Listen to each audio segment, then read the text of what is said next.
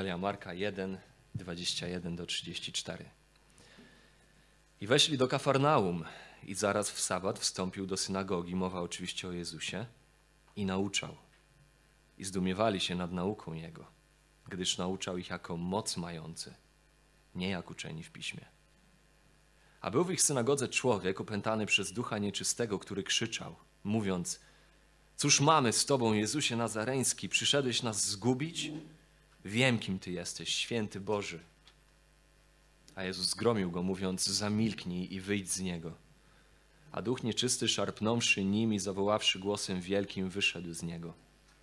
I zdumiewali się wszyscy, tak iż pytali się nawzajem: Co to jest? Nowa nauka głoszona z mocą, nawet duchom nieczystym rozkazuje i są mu posłuszne.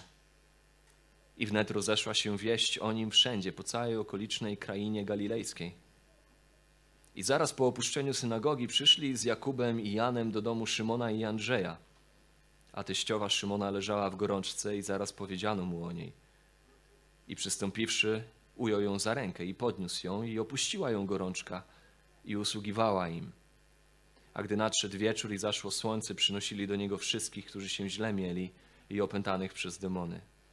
I całe miasto zgromadziło się u drzwi i uzdrowił wielu, których trapiły przeróżne choroby i wypędził wiele demonów, ale nie pozwolił demonom mówić, bo go znali. Autorytet to jest taka rzecz, która w dużej mierze definiuje kierunek życia każdego z nas.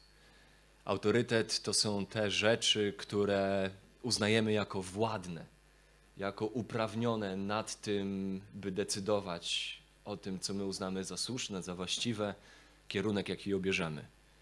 I wszyscy mamy przeróżne autorytety. Każdy z nas coś w życiu uznaje za władne, uprawnione do tego, by o naszym życiu decydować.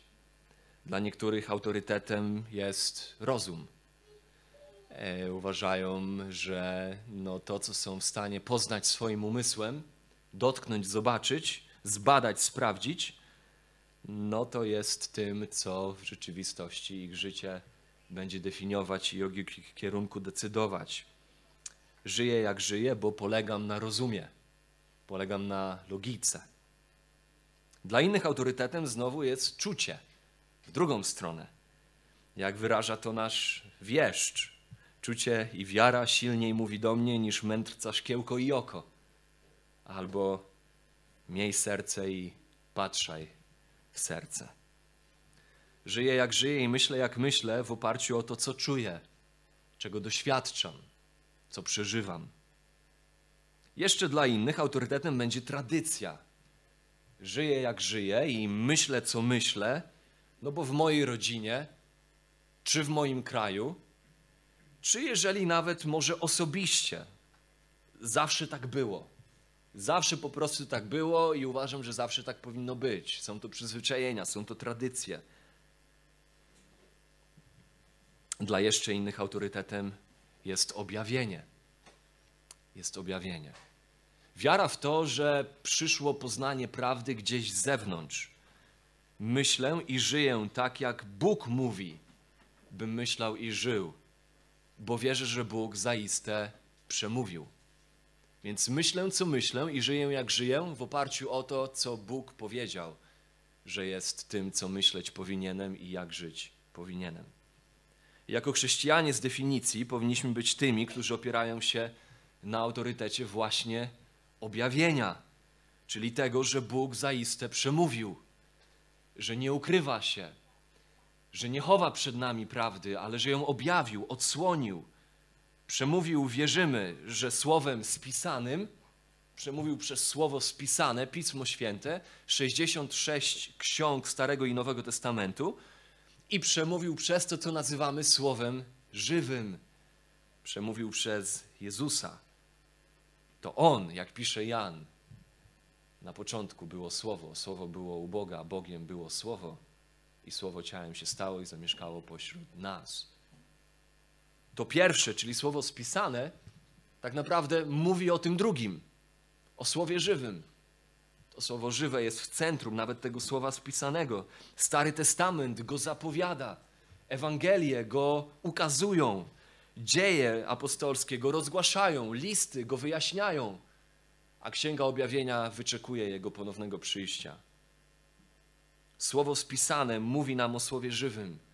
Słowo spisane mówi nam o tym, który ma prawo do naszego życia, któremu należy się całkowite przywództwo, całkowity autorytet nad naszym życiem. Jest objawiony jako prawda. On jest drogą, prawdą i życiem.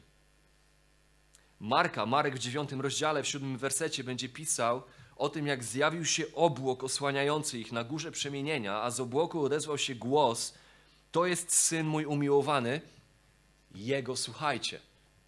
Jego słuchajcie. To jemu należy się władza. On jest uprawniony do tego, by decydować o naszym życiu. Rodzi się pytanie, dlaczego mamy słuchać Jezusa? Dlaczego mielibyśmy Jego traktować jako autorytet najwyższy, ostateczny w naszym życiu? Dlaczego to On miałby sprawować absolutną władzę nad naszym życiem?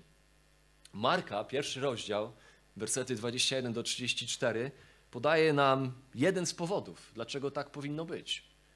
Ten fragment pokazuje nam, że Jezus jest tym, który ma najwyższą władzę, i to jest powód, dlaczego my powinniśmy uczynić go, czy pozwolić mu być najbardziej uprawnionym, traktować go jako tego, który jest najwyższym autorytetem, bo on jest najwyższym autorytetem. Ten fragment ukazuje go jako tego, który posiada najwyższą władzę. Pokazuje jego tożsamość jako tego, który jest władcą, który ma moc. Tutaj mamy opisaną serię zdarzeń z takiego dnia Jezusa od rana do późnego wieczora. Seria zdarzeń z początku jego służby. Seria, która ukazuje nam, że on nie jest jakimś tam kolejnym nauczycielem, on nie jest jakimś tam kolejnym rabinem, nie jest jedynie ciekawą osobą, nie jest nawet kimś, kto ubiega się o pozycję autorytetu. On jest kimś, kto posiada autorytet. Bez względu na to, co inni zrobią z jego autorytetem, on tę władzę i ten autorytet posiada. I tu widzimy, że to jest centrum tego fragmentu. W centrum tego fragmentu stoi podziw właśnie nad jego mocą, nad jego władzą. To jest to, co Marek w tej narracji próbuje, podkreślić w tożsamości Chrystusa. Oto ten, który jest władny. W wersecie 22 widzimy ludzi zszokowanych, którzy reagują na nauczanie Jezusa jako ten, który naucza jako moc mający. W wersecie 27 widzimy zdumienie wszystkich. Co to jest? Pytają.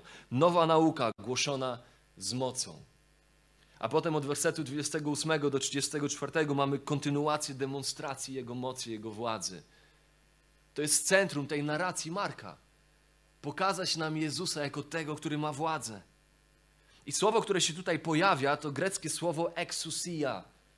Trochę dzisiaj będzie greki, ale ona jest potrzebna, bo w polskim mamy słowo moc, które potrafi być mylne dla nas. To słowo moc się pojawia w różnych fragmentach, chociażby Ewangelii Marka, oddając tak naprawdę różne greckie słowa. Tutaj mamy do czynienia ze słowem exousia, które w innych y, przekładach Biblii pojawia się właśnie jako władza. Jak to na przykład jest w Biblii Tysiąclecia, czy w Biblii Ewangelicznego Instytutu Biblijnego, właśnie jako władza. W języku angielskim jako autorytet. I słusznie, bo słowo exousia ma trochę inny wydźwięk niż na przykład greckie słowo dunamis. Słowo dunamis też tłumaczone jako moc. Na przykład w Marka 5:30, gdzie Jezus poczuł, jak uszła z niego moc, kiedy został dotknięty przez chorą kobietę. Uszła z niego moc. Tam jest odniesienie do dunamis, do siły Jezusa. Tutaj natomiast mamy do czynienia ze słowem exousia. Różnica pomiędzy tymi dwoma pojęciami, exousia, dunamis, w języku polskim oba tłumaczone bardzo często jako moc, jest trochę taka jak różnica pomiędzy kulturystą, mocą jaką posiada kulturysta, a mocą jaką posiada sędzia na boisku piłkarskim. Moc kulturysty jest zawarta w jego sile moc sędziego jest zawarta w jego pozycji. W tym, kim został ustanowiony, jaką pozycję zajmuje i w tym, do czego ma prawo. I nawet kiedy na boisku znajdzie się piłkarz, który ma więcej dunamis od sędziego, to i tak nic nie może zrobić w obliczu decyzji sędziego, który posiada na boisku exousia, który posiada autorytet. Zgadza się?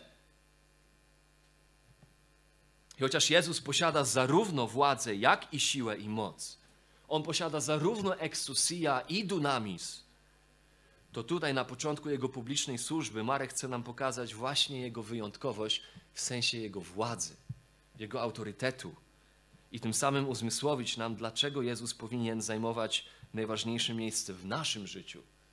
Miejsce autorytetu, miejsce władzy nad naszym życiem, naszym myśleniem, naszymi decyzjami, naszym postępowaniem, naszymi wartościami, naszymi relacjami i nad naszym wszystkim.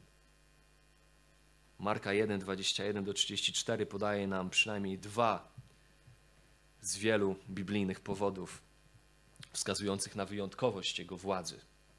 Po pierwsze, wersety 21 do 22 widzimy wyjątkowość władzy Jezusa, która przejawia się w Jego nauce. On naucza jako moc, jako władzę, jako autorytet mający. Od wersetu 23 do wersetu 34 widzimy wyjątkowość władzy Jezusa, która przejawia się w Jego czynach. Najpierw widzimy władzę przejawiającą się w słowach, potem widzimy Jego władzę przejawiającą się w czynach. I tam 23 do 28 to są czyny wobec sił ciemności, a wersety 29 do 34 to są Jego czyny wobec choroby. Spójrzmy najpierw na wyjątkowość władzy Jezusa przejawiającej się w Jego nauce, w Jego słowach. Wersety 21 22. Tam widzimy, akcja rozgrywa się w Kafarnaum. Dość znaczące miasteczko na północno-zachodnim wybrzeżu Morza Galilejskiego. Swe znaczenie to miasteczko zawdzięczało prężnie rozwiniętemu, działającemu portowi rybackiemu. To tutaj właśnie do Kafarnaum przyprowadzili się z Betsajdy Szymon i Andrzej, jego brat, najprawdopodobniej by tutaj właśnie pracować, tutaj zarabiać na życie, to tutaj też zamieszkał Jezus, kiedy opuścił Nazaret. I tutaj najaktywniej nauczał, i tutaj najaktywniej służył. To stąd rozeszła się wieść po całej krainie galilejskiej o jego nadzwyczajnej nauce i jego czynach. Widzimy to w tym fragmencie, w wersecie 28. Miałem okazję być w Kafarnaum. I jest tam fascynujące znalezisko archeologiczne. Odkryte ponad 25 lat temu pod ruinami bizantyjskiego, starego bizantyjskiego kościoła, ruiny tego kościoła. Tam pod ruinami tego kościoła znaleziono pozostałości prostego, starożytnego domu, który datuje się na wczesny pierwszy wiek, a może nawet przed początki tego domu. Wszystko wskazuje na to, że te ruiny pod tym, pod ruinami bizantyjskiego kościoła, ten prosty dom, to nic innego jak dom samego apostoła Piotra i jego brata Andrzeja, w którym najprawdopodobniej zamieszkał także i Jezus z Piotrem i Andrzejem. W badaniach archeologicznych widać, że funkcja tego domu znacząco zmieniała się mniej więcej w końcówce I wieku czyli po okresie śmierci, zmartwychwstania Chrystusa, w momencie, kiedy Kościół się zrodził i zaczął rosnąć, szerzyć się, widać, że funkcja domu znacząco zmieniała się. Że z prostego domu e, zaczęły być, e, konstrukcja była trochę zmieniana tak, żeby go dostosować jako miejsce do zgromadzeń, jakichś publicznych, lokalnych, społecznych zgromadzeń. Ten zwykły dom więc został przetransformowany w bardzo proste miejsce zgromadzeń. A w następnych stuleciach, mniej więcej do IV wieku, od I do IV wieku, widać jak stopniowo był rozbudowywany. W ścianach znaleziono liczne inskrypcje odnoszące się między innymi do Chrystusa, ale także do Piotra, z symbolem łódki na przykład.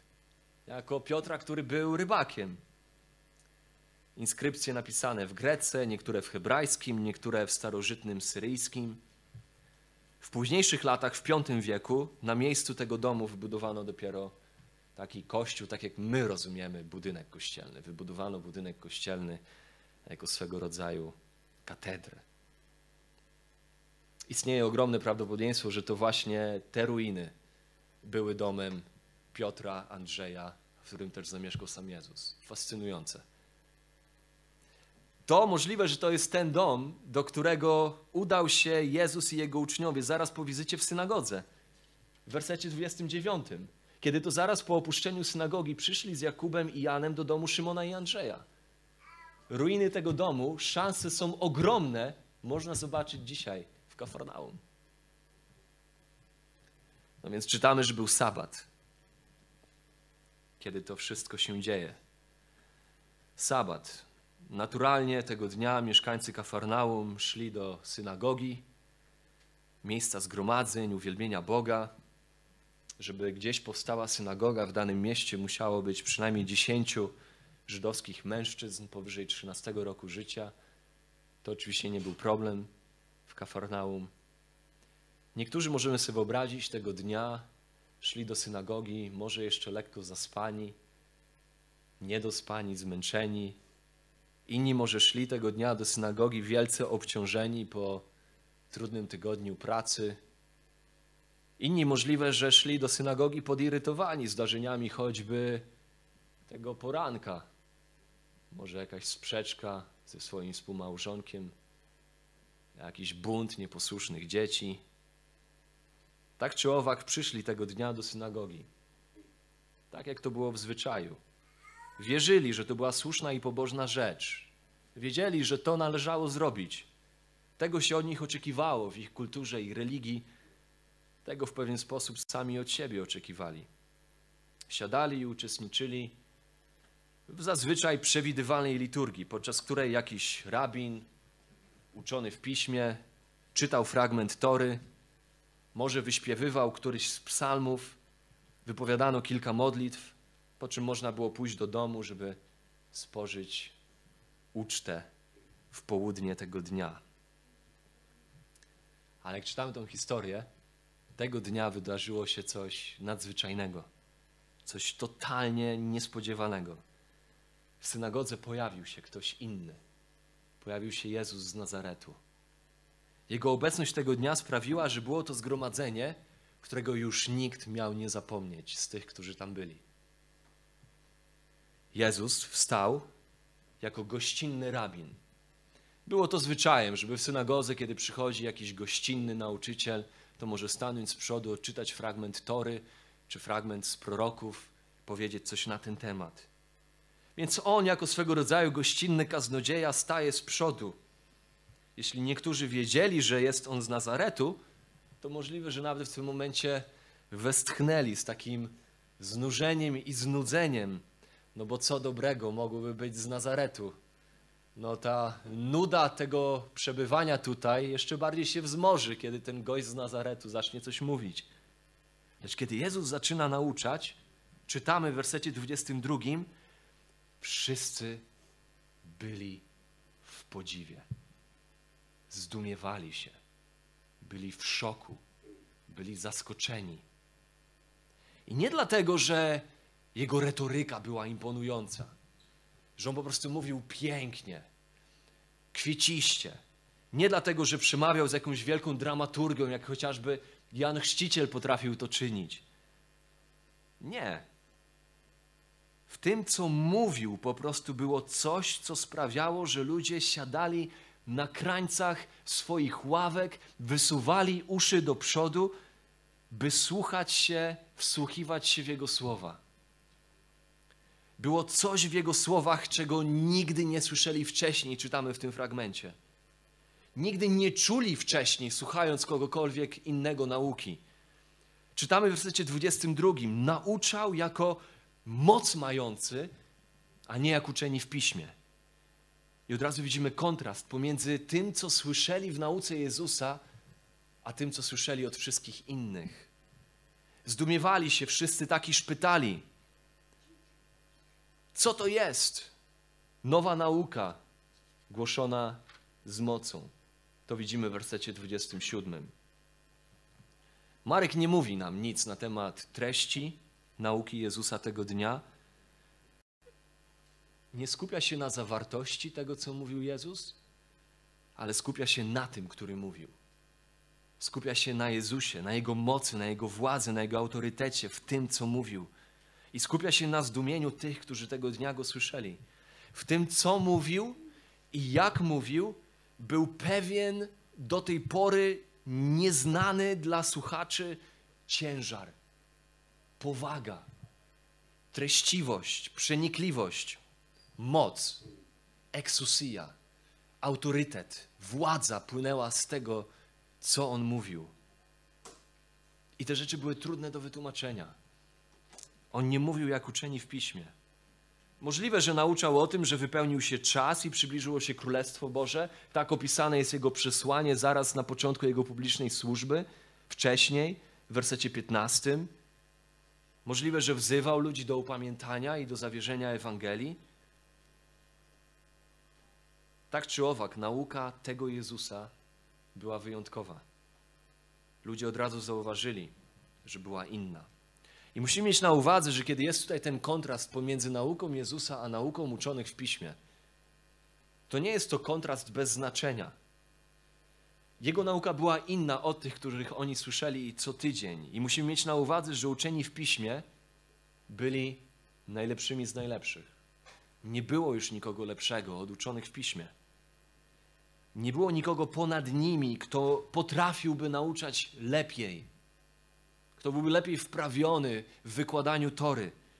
Oni byli wyszkoleni, oni byli wyćwiczeni w nauczaniu pisma. Ich erudycja, ich prestiż osiągały legendarne proporcje w pierwszym wieku naszej ery. Wielu z uczonych w piśmie było faryzeuszami, niektórzy byli saduceuszami. To byli najlepsi z najlepszych. Oni byli elitą i przywilejem było siedzieć pod ich nauką. Jednak uczeni w piśmie mówili inaczej niż mówił Jezus. Jezus mówił inaczej niż oni.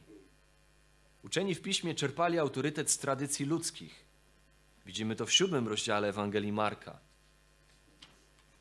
Wersety 8 do 13. Tak więc i wy jesteście niepojętni, nie rozumiecie, że wszystko, co z zewnątrz wchodzi do człowieka, nie może go kalać, bo nie wchodzi w jego serca, lecz do żołądka i wychodzi na zewnątrz, oczyszczając wszystkie pokarmy. Mówi bowiem, to, co wychodzi z człowieka, to kala człowieka, albowiem z wnętrza człowieka z wnętrza człowieka, z serca ludzkiego pochodzą złe myśli, wszeteczeństwa, kradzieże, morderstwa, cudzołóstwa, chciwość, złość, podstępy, lubieżność, zawiść, bluźnierstwo, pycha, głupota. Wszystko to złe pochodzi z wewnątrz i kala człowieka. Jesteście niepojętni.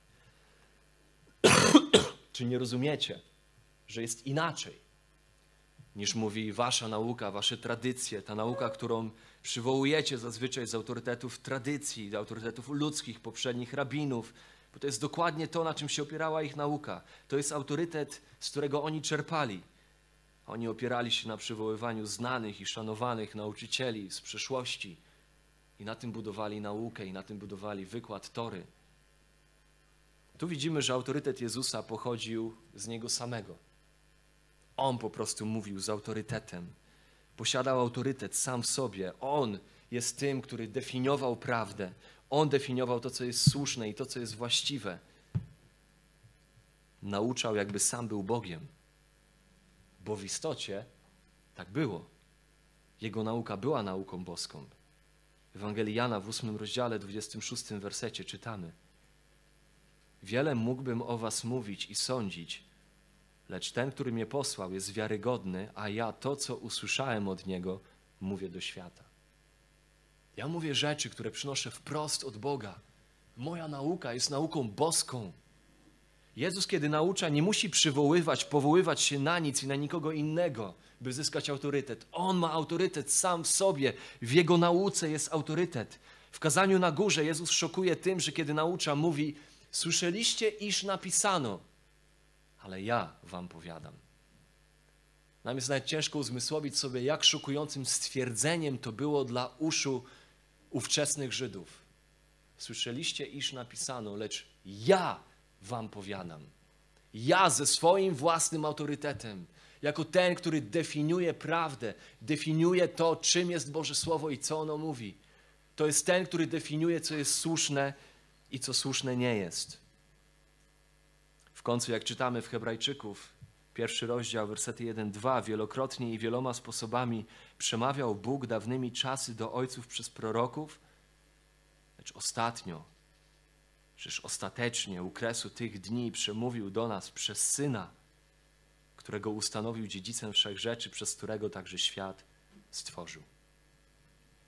To jest ten, przez którego przemówił sam Ojciec. To jest autorytet Jego słów. Jego słowa są słowami z mocą, są nauką jak nauka nikogo innego.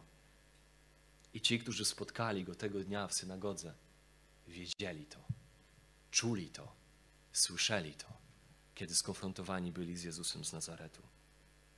Tutaj też mamy pierwszą konfrontację Jezusa z uczonymi w piśmie, gdzie zaczynamy dostrzegać kontrast pomiędzy nim, czy pomiędzy nimi, a Jezusem. Coś, co przez resztę historii życia Jezusa ziemskiego będzie narastać z czasem, aż staną oni w tak silnej opozycji wobec Jezusa, mając udział w wydaniu go na śmierć, na krzyż. Jezus wielokrotnie będzie konfrontował ich legalizm, ich obłudę, hipokryzję, samosprawiedliwość. Jeśli niektórzy boją się, że są zbyt brudni, zbyt grzeszni, żeby Bóg mógł ich przyjąć, by być zbawionymi, to uczeni w piśmie raczej uważali, że są zbyt czyści, są zbyt święci, są zbyt dobrzy, by w ogóle zbawienia potrzebować. To jest niebezpieczeństwo, któremu zawsze stawiamy czoła. Wydaje mi się, że zwłaszcza będąc wychowanymi w środowisku religijnym, w środowisku kościelnym. Widzimy dalej wyjątkowość władzy Jezusa przejawiającą się w Jego czynach. Nie tylko w Jego słowach, ale także w Jego czynach. Najpierw widzimy Jego władzę nad siłami ciemności. Kiedy ludzie tak siedzą, o, to dobra ilustracja, zaraz będzie do kazania. Nie wiem, czy ktokolwiek to słyszał. Kiedy ludzie tak siedzą, właśnie z uwagą wsłuchując się w wyjątkowość nauki Chrystusowej, nagle z tylnej ławki dobiega przeszywający wszystkich krzyk, bo to jest krzyk demoniczny. Widzimy to w wersecie 23. Był tam człowiek opętany przez ducha nieczystego, który krzyczał. Jego krzyk zawierał się między innymi w słowach: Cóż mamy z Tobą, Jezusie Nazareński? To jest idiom, to jest takie przysłowie greckie. Innymi słowy, co ci do nas? Jest to takie stwierdzenie, które w pewnym sensie mówi: odczep się od nas. Czy przyszedłeś nas zgubić? Wiemy, kim Ty jesteś. Święty Boży. Demon tutaj przywołuje tożsamość Jezusa jako świętego Bożego. Nie wiadomo, dlaczego to robi. Możliwe, że robi to z nadzieją, że Jezus da mu spokój, skoro on jako demon uznaje jego tożsamość, wyznaje jego tożsamość zgodnie z prawdą tego, kim naprawdę jest, uznaje Jezusa jako świętego Bożego. Jezus jest boski w pochodzeniu. Jedenasty werset pierwszego rozdziału to jest syn mój umiłowany. Głos z nieba, głos Ojca się odzywa. I jest święty w charakterze. Werset trzynasty, kiedy stawił czoła szatanowi. Możliwe, że wieści po tym królestwie ciemności już się rozeszły, że Jezus stawił czoła samemu księciu sił ciemności i dał mu opór. Nie upadł w obliczu najcięższej pokusy. Więc ten demon wyznaje: Ty jesteś świętym Bożym, Ty jesteś boski w swym pochodzeniu, jesteś święty w swym charakterze. Ja to uznaję, odczep się, nie niszcz nas, daj nam spokój. Przy okazji mamy tutaj taką uwagę. Uznanie tożsamości Jezusa nic nie zmienia. Jakub pisze w swoim liście, drugi rozdział listu Jakuba, 19 werset. Wierzysz, że jeden jest Bóg? Słusznie czynisz, lecz także i złe duchy wierzą i drżą. Samo intelektualne zgodzenie się na to, jak objawia nam tożsamość Jezusową Słowo Boże, nic nie zmienia. Wciąż zostawia nas takimi samymi, jeżeli to jest jedyne, jedyna rzecz, na której my opieramy istotę naszego chrześcijaństwa, to jest intelektualna zgoda z tożsamością Jezusową, to musimy rozumieć, że w tym momencie wciąż nie różnimy się niczym od demonów. Jesteśmy dokładnie w tym samym miejscu, co demony.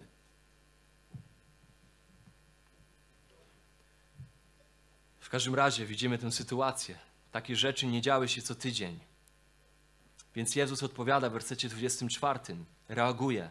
Mówi, zamilknij, rozkazał Jezus. Wydaje mi się, jak sobie próbuję wyobrazić tę sytuację, tam pobyt w tej synagodze tego dnia. Pewnie wszyscy byli wdzięczni, że on to powiedział.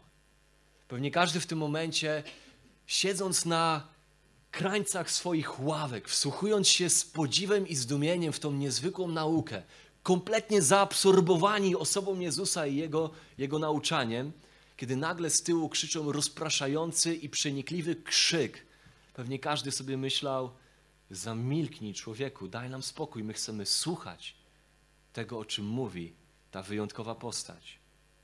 Więc fajnie, że Jezus mu to powiedział, żeby nie przeszkadzał, żeby nie rozpraszał. Pewnie każdy z innych zebranych chciał powiedzieć to samo. Ale zaraz po tym Jezus powiedział coś jeszcze, czego nikt inny już na pewno nie śmiałby tego dnia powiedzieć. Dalej werset 25. I Jezus powiedział: Wyjdź z niego. Słowa bardzo odważne. No bo co, jeżeli nie wyjdzie? Ale od razu, jak wybrzmiały słowa Jezusa, słowa mocy, autorytetu, władzy, ten człowiek zadrżał, czytamy, demon wyszedł z niego. I znowu wszyscy byli zdumieni. Szczęki im opadły. Po raz kolejny, zdumienie za zdumieniem. Co to musiał być za dzień? Co za spotkanie? Cóż za człowiek? Cóż za władza? Cóż za autorytet? Wystarczy słowo, wystarczy rozkaz. Żadnych zaklęć, żadnych rytuałów, żadnych egzorcyzmów, tylko słowo. A demony ulegają. I zdumiewali się wszyscy, tak iż pytali się nawzajem, werset 27, co to jest. I zauważmy, że nie są tak bardzo pod wrażeniem nawet tego, że wypędził demona, ale tego, że to potwierdza moc jego nauki. Co to jest? Nowa nauka, głoszona z władzą, z mocą. Nawet duchom nieczystym rozkazuje i są mu posłuszne. W centrum jest to, co Jezus mówi. I tutaj zaraz po tym, jak Jezus zaczął nauczać, następuje właśnie w pewnym sensie test jego nauki. Oto ten, który staje przed nami i mówi, jakby miał władzę, i mówi, jakby miał moc. Mówi z wielką mocą, z wielką władzą. Ale dlaczego? Kto dał mu do tego prawo? Czy on faktycznie ma jakąkolwiek władzę? Czy on ma jakąkolwiek moc? Otóż oto od razu pojawia się próba, od razu pojawia się test. Czy Jezus nauczający z władzą faktycznie posiada władzę? Okazuje się, że absolutnie tak. Autorytet nauki Jezusa potwierdzony jest w jego autorytecie w tym momencie nad światem nadprzyrodzonym. Obecność Jezusa jest inwazją na duchowy świat ciemności. On jest tym, który przychodzi związać złego. Jak napisze Marek w trzecim rozdziale, 27 wersecie. To jest ten, który może mówić z władzą, bo on ma władzę. Bo on ma władzę. My żyjemy w paradoksalnych czasach, bo z jednej strony w dyskusjach religijnych odrzuca się rzeczywistość duchową, rzeczywistość szatana i demonów. Z drugiej strony około 70% ankietowanych wierzy w jakiegoś rodzaju duchowy świat, w siły wyższe. Tak jakbyśmy mimo wszystko, mimo naszego sprzeciwu w dyskusjach religijnych, jako Polacy czy w ogóle społeczeństwo zachodnie, w dyskusjach religijnych zaprzeczali istnieniu świata duchowego, okazuje, że tak naprawdę gdzieś tam wiemy, że jest coś więcej, że świat duchowy zaiste istnieje, że jest coś poza materią, bo faktycznie jest. Bo faktycznie jest. I oczywiście Słowo Boże uzmysławia nam to w listach, które są pisane do kościołów, 1 Piotra 5:8. Czuwajcie, bądźcie czujni, strzeżcie się, szatan chodzi wokoło jak lew ryczący, szuka kogo by pochłonąć. Efezjan 6 rozdział, wersety 10 do 13. Toczymy bój nie z krwią i z ciałem, ale z ziemskimi władzami, zwierzchnościami w okręgach niebieskich. Więc uzbrójmy się w całą zbroję Bożą, żebyśmy mogli stawić czoła wszelkim zasadzkom diabelskim. On jest aktywny, zasadza, czy, czy sta, stawia zasadzki diabelskie. No, tego dnia wszyscy wyszli z synagogi zdumieni. Wyszli z synagogi z poczuciem, że byli w obecności kogoś wyjątkowego, jakby samego Boga, w sposób, w jaki nigdy wcześniej tego nie doświadczyli. Spotkali tam Jezusa tego dnia i czytamy w wersecie 28 i nie mogli przestać o nim mówić. Więc wieść o nim rozeszła się po całej krainie galilejskiej. I dalej widzimy kolejną historię. Sceneria się zmienia, mamy wciąż ten sam dzień. To był dzień pełen zajęć dla Jezusa i uczniów, był to pracowity dzień. Zaraz jak wychodzą z synagogi, udają się do domu Szymona i Andrzeja. I tam teściowa Szymona leży chora z gorączką, co przy okazji wskazuje nam na to, że Szymon Piotr był żonaty. Nic nie wiemy o jego żonie, nie jest to istotne. Tam teściowa Szymona leży chora z gorączką. Nic więcej nie wiemy o jej chorobie, bo znowu, nie natura jej choroby jest istotna. Wiemy jedynie, że to gorączka. Nie choroba jest w centrum, ale ten, który za chwilę z tą chorobą się rozprawi. Werset 30. I zaraz natychmiast powiedziano mu o niej. I tak szybko, jak mu o niej powiedziano, tak szybko, werset 31, przystąpił do niej, ujął ją za rękę i podniósł ją. I opuściła ją gorączka i usługiwała im. I znowu, nie ma żadnych zaklęć, nie ma żadnego tańca szamanów, żadnych rytuałów, żadnego pytania o jej wiarę, ale po prostu manifestacja jego władzy. Oto ten, który przyszedł pokazać, że ma władzę. Ma władzę nad siłami ciemności i ma władzę nad chorobą. Nie tak jak to ma miejsce dzisiaj w przypadku wielu współczesnych uzdrowicieli, którzy to zawsze w centrum ich możności, by kogoś uzdrowić, stawiają tych, których rzekomo uzdrawiają. No bo uzdrowiłem kogoś, bo ten ktoś miał wiarę, albo nie uzdrowiłem tego kogoś, nie dałem rady, no bo to jest wina tego kogoś, bo nie miał wiary. Tutaj, jak i w wielu innych miejscach, Jezus po prostu uzdrawia. Nie ma pytania o czyjąkolwiek wiarę. Tutaj przynoszono całe miasto do Niego. Absolutnie nie możemy założyć, że ci ludzie, wszyscy, którzy byli do Niego przyniesieni, mieli wiarę. Potem widzimy w późniejszych fragmentach osąd wydany nad całym miastem Kafarnaum, że ono nie przyjęło Jezusa, tego, który pośród nich dokonywał cudów i który uczył ich. Też w piśmie będzie kilka sytuacji, w których Jezus uzdrowi w nietypowy sposób, posługując się dziwnymi metodami. Między innymi w siódmym i w ósmym rozdziale dotrzemy do takiej historii. Ale tam i wtedy zastosowane przez Jezusa dziwne sposoby mają znaczenie bardziej symboliczne niż zawierające w sobie jakąkolwiek moc sprawczą. To nie jest tak, że, że błoto czy, czy palce włożone w uszy niesłyszącego ma jakąś magiczną moc. Nie, tam to jest symbolika, która, ale to dojdziemy w przyszłości do tych fragmentów. Tutaj widzimy wyraźnie, Jezus wystarczy, że powie słowo. Wystarczy, że swoją obecnością się pojawi i choroba znika. I jak dodają ostatnie trzy wersety, 32, 33, 34. A gdy nastał wieczór, zaszło słońce, przynosili do niego wszystkich, którzy się źle mieli i opętanych przez demony, i całe miasto zgromadziło się u drzwi. I uzdrowił wielu, których trapiły przeróżne choroby, i wypędził wiele demonów, ale nie pozwolił demonom mówić, bo go znali. Tutaj taka uwaga. Mogłoby się wydawać, w wersecie 34 uzdrowił wielu. Mogłoby się wydawać, że niektórych nie uzdrowił z tych, którzy się gromadzili u drzwi. Natomiast w Grece to słowo, które jest tutaj widoczne, jest słowem, które raczej oznacza, że uzdrowił wielu, w sensie, że tego dnia wielu przyszło przez, przed drzwi być uzdrowionym. Jest to słowo, które bardziej ma znaczenie. E, jak to powiedzieć? Po angielsku, dla tych, którzy tam słuchają, to jest bardziej inclusive niż exclusive. To jest słowo, które E, oznacza zawartość, a nie wykluczenie. To nie słowo, które mówi wielu w sensie, że niektórzy nie, ale słowo, które oznacza, że tego dnia po prostu wielu było, których do nich przyszło i tych wielu Jezus uzdrowił. I to w niektórych przykładach jest oddane, szczególnie w angielskich. Polskie, może język polski sobie trudniej z tym radzi. Po prostu dużo było tych osób tego dnia, które Jezus uzdrowił. Znosili do niego chorych i opętanych, a on ich uzdrawiał i uwalniał. I kolejna uwaga. To nie jest historia o nas. To nie historia o tym, co my mamy robić.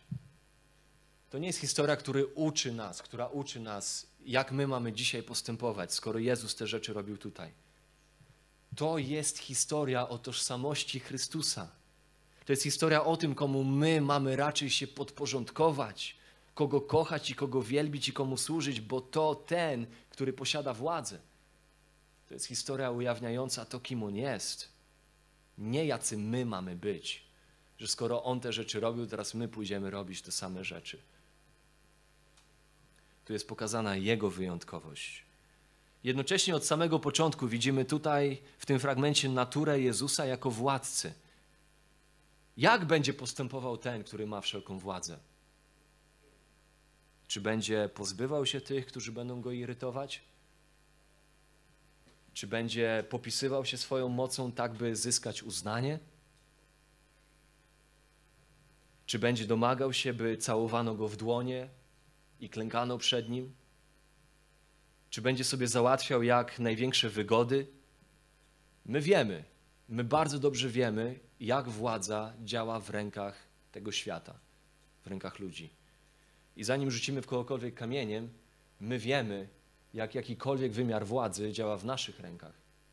Co my robimy z jakąkolwiek miarą władzy, która jest nam dana. Jesteśmy roszczeniowi, bardzo łatwo domagamy się, żeby inni nam służyli, bo przecież my mamy taką, a nie inną pozycję, my jesteśmy wyżej, inni powinni służyć nam, uważamy siebie za ważniejszych od innych, my domagamy się uwagi. Jezus jest władcą, który jest absolutny, a który przychodzi, aby służyć. I od początku widzimy tutaj właśnie tę naturę Jego władzy. On jest władcą, który jest sługą. Kiedy przyszedł pierwszy raz w ciele, przyszedł, by służyć. Jest władcą, który jest pełen miłości i troski. Jego miłosierdzie okazane teściowej Szymona rozlewa się na cały tłum. Tego dnia, tego wieczora. Ludzie przychodzą zewsząd, przynoszą do niego chorych, aż całe miasto zgromadziło się u drzwi. Przyszli tam nie tylko chorzy, ale też opętani przez demony. A on okazuje im dobroć. Co mamy, kiedy mamy dobroć, ale nie mamy władzy?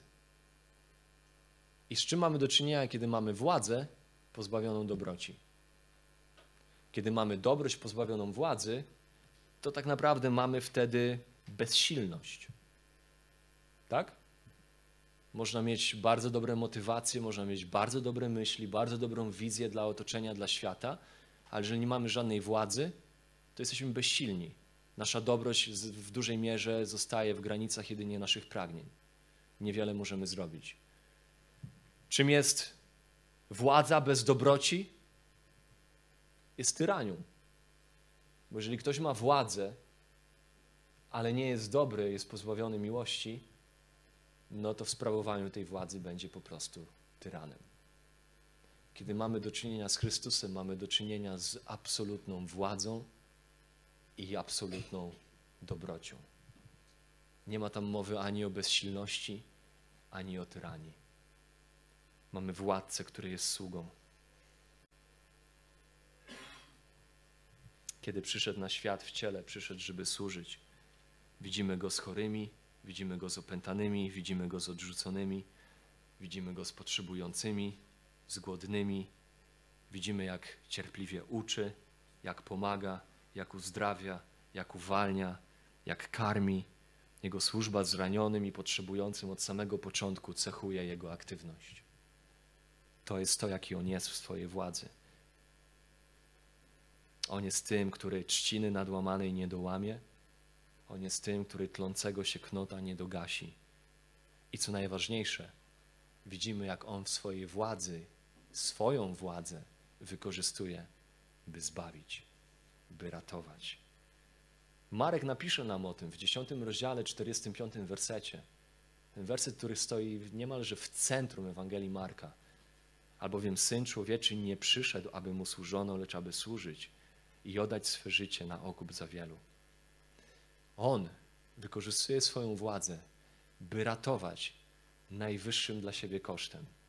Oddaje życie swoje jako okup za grzechy grzeszników, kiedy płaci za nie swoim życiem na krzyżu. Jest synem Boży, który całą swoją władzę wykorzystuje, by przynieść ratunek tym grzesznikom, którzy wyznają swoje grzechy, odwrócą się od nich uchwycą się Go swoją wiarą i ufnością, oprą się na Nim. I tutaj rodzi się jeszcze jedno pytanie, zanim skończymy. Czy w dziele zbawienia, odkupienia grzeszników zawiera się też fizyczne uzdrowienie? W końcu w Izajasza 53:5 w tym tygodniu czytałem, jak na Facebooku jedna osoba przywołała ten fragment, mówiąc o tym, jak dzisiejsze chrześcijaństwo jest słabe, bo, bo zgadzamy się na chorobę, podczas gdy w odkupieniu Chrystusa nie ma pozwolenia na żadną chorobę. W imieniu Chrystusa każdą chorobę powinniśmy być w stanie przegonić i wyrzucić. W końcu Izajasza 53:5 mówi: On zraniony jest za występki nasze, starty za winy nasze. Ukarany został dla naszego zbawienia, a jego ranami jesteśmy uleczeni. Mateusz w swojej Ewangelii nawet dodaje cytat Izajasza 53:4, kiedy opisuje to samo zdarzenie.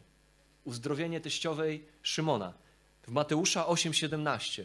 Mateusz w swojej relacji tej historii dodaje Izajasza 53:4, gdzie jest napisane, aby się spełniło, co przypowiedziano przez Izajasza proroka mówiącego. On niemocy nasze wziął na siebie i choroby nasze poniósł.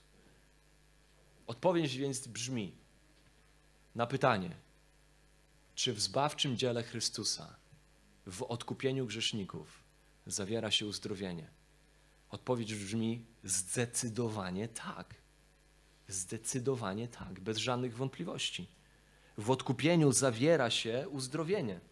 Z tym, że w niektórych przypadkach, dla niektórych osób i czasami będzie to uzdrowienie zaiste teraźniejsze, lecz nawet jeżeli ono jest teraźniejsze, to ono i tak zawsze jest tymczasowe, bo i tak wszyscy umieramy, wcześniej czy później. Lecz dla wszystkich, którzy są odkupieni, zbawieni, złożyli ufność i wiarę w Chrystusie jako Panu i Zbawicielowi, zawiera się uzdrowienie, które jest wieczne i trwałe. Więc oczywiście, że tak, zawiera się uzdrowienie. Widzimy to jasno w Księdze Objawienia 21, 4, 5. I on otrze wszelką łzę z oczu ich i śmierci już nie będzie, ani smutku, ani krzyku, ani mozołu już nie będzie. Albowiem pierwsze rzeczy przeminęły. I rzekł ten, który siedzi na tronie, oto wszystko nowym czynię i mówi, napisz to, gdyż słowa te są pewne i prawdziwe. Władza Jezusa, Jego zbawcze dzieło ani nie wykluczają, ani nie gwarantują uzdrowienia fizycznego wszystkim tu i teraz. Ale na wieki tak. Po pierwsze, zbawcze dzieło Jezusa skupia się na odkupieniu i ratowaniu grzeszników od potępienia ich za grzechy. Skupia się na ratunku od sądu, na gwarancji życia wiecznego, kiedy to Bóg wszystko uczyni nowym. Po drugie, odkupieńcze, zbawcze dzieło Jezusa zaświadcza o tym, że w nim nastąpi odnowienie właśnie stworzenia, że to jest jego plan na wieczność dopiero, kiedy Jezus naprawi zepsuty świat w nowym stworzeniu. I po trzecie, nawet tutaj w tej relacji Marka widzimy, jak jego władza manifestująca się uzdrawianiem chorych czy uwolnieniem opętanych w istocie służy tak naprawdę konkretnemu celowi uwierzytelnieniu Jego tożsamości, uwierzytelnieniu Jego nauki, tego, co mówi, co głosi jako prawdę, której ludzie powinni się podporządkować, którą powinni przyjąć, w którą powinni uwierzyć, której powinni się uchwycić. To jest cel tych czynów, których dokonuje tutaj Jezus. Aby ludzie w zdumieniu mogli powiedzieć, to jest nauka, która jest nauką z mocą. On ma prawo mówić to, co mówi, i on ma prawo mówić tak, jak mówi, bo on ma władzę. To są dzieła, które służą uwierzytelnieniu Go jako tego, który posiada boski autorytet. Bo ten, który mówi, mówi nie jak inni, nie jak inni uczeni, inni religijni przywódcy, inni filozofowie, ale jako moc mający. Więc oto Jezus z Nazaretu, Syn Boży, Król i Pan, Zbawiciel. Widzimy, jak Jego obecność zmienia rzeczywistość. Demony przed nim uciekają, chorzy dostępują uzdrowienia. Widzimy, że jego władza jest absolutna. Nie ma miejsc, do których ona by nie sięgała.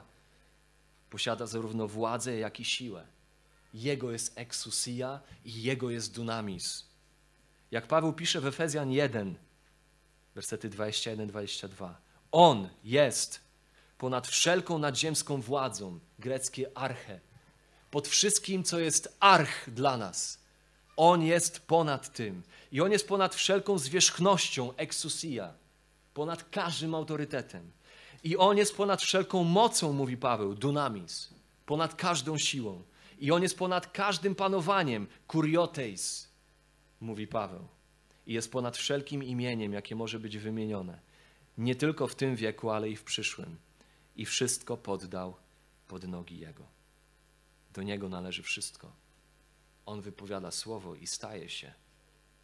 I Bóg wielce go wywyższył. Czytamy Filipian 1, 9 do 11. I obdarzył go imieniem, które jest ponad wszelkie imię, aby na imię Jezusa zginało się wszelkie kolano na niebie i na ziemi i pod ziemią, i aby wszelki język wyznawał, że Jezus Chrystus jest Panem, ku chwale Boga Ojca.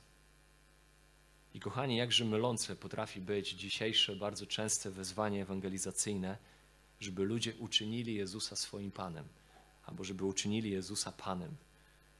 Otóż Jezus jest Twoim Panem. Gdziekolwiek znajdujesz się w swoim stosunku wobec Niego, nawet jeżeli nie wierzysz w Niego, to niczego nie zmienia. On dalej jest Twoim Panem. On ma pozycję panowania i królowania. Czy to uznajemy, czy tego nie uznajemy. Tylko, że On jest albo Twoim Panem ku sądowi i śmierci, albo będzie Twoim Panem ku zbawieniu i życiu. On posiada władzę bez względu na to, czy my to uznamy, czy nie. On posiada władzę i pozycję, by sądzić świat, i Bóg wyznaczył dzień, w którym to się stanie.